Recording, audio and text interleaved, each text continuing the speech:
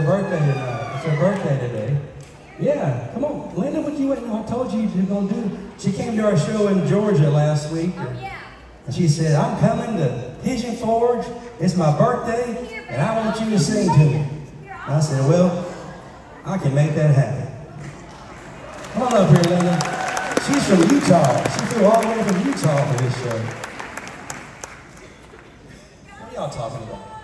Yeah, let's see everybody see your shirt right here. Lying here with Linda on my mind. And there's Conway. Hello, darling. That's right. Yeah. Linda, have a seat right here, man. I so appreciate you coming to this show and letting me see. What's that again? How do you like your flashlight? My flashlight? Yes, you love it. I love it. but today's your birthday, right, Linda? Yes. And uh, usually I bring Linda up here and I, and I say, Linda, what's your favorite Conway Twitty song? Hello, darling. Okay, that's the wrong answer for this next Linda, who is your birthday today, Linda? What's your favorite Conway Twitty song? Lying here with Linda on my. Tonight you get to be the Linda that broke up my grandparents' marriage. How you feel about that, Linda? Okay.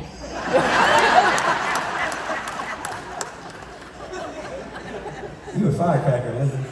I like you. You like it too? I gotta turn my.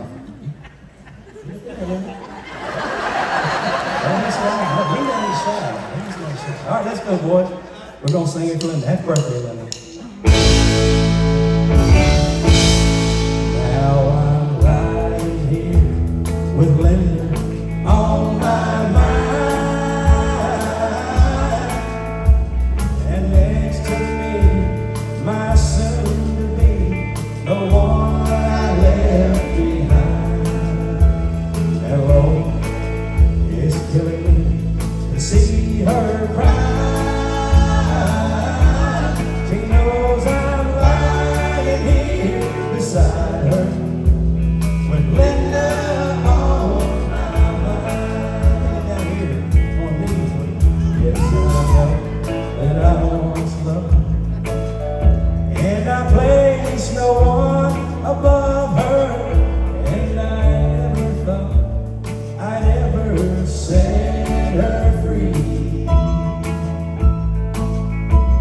But it just wasn't